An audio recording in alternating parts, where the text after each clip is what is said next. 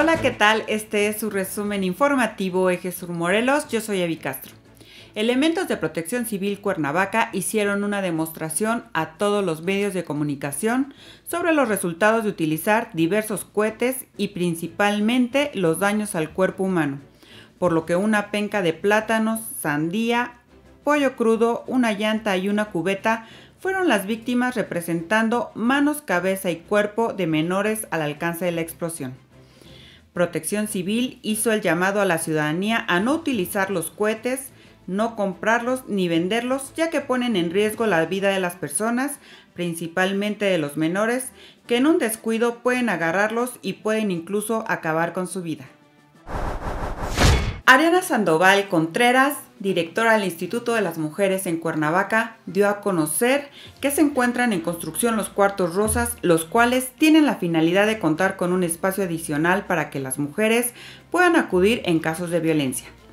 Explicó que generalmente las mujeres que tienen viviendas son muy pequeñas y que se comparten con muchas personas, lo que puede generar algún tipo de violencia. Luis Miguel Ramírez Romero, hasta ahora consejero estatal del PAN, explicó que la actual dirigencia ha traicionado a sus militantes y, simpatizantes, ya que ahora optan por la imposición en lugar de asignar las candidaturas democráticamente, asimismo, solo buscan repartirse las candidaturas plurinominales. Por tal razón, anunció su renuncia del Partido Acción Nacional luego de 25 años de militancia y anunció que buscará una diputación por la vía independiente.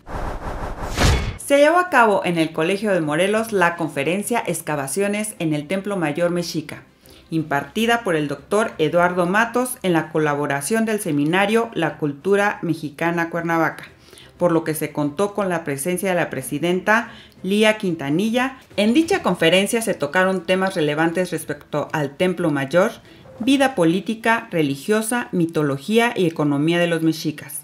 Se contó con la presencia de al menos 100 participantes. Este fue su resumen informativo Eje Sur Morelos. Yo soy Avi Castro y nos vemos hasta la próxima.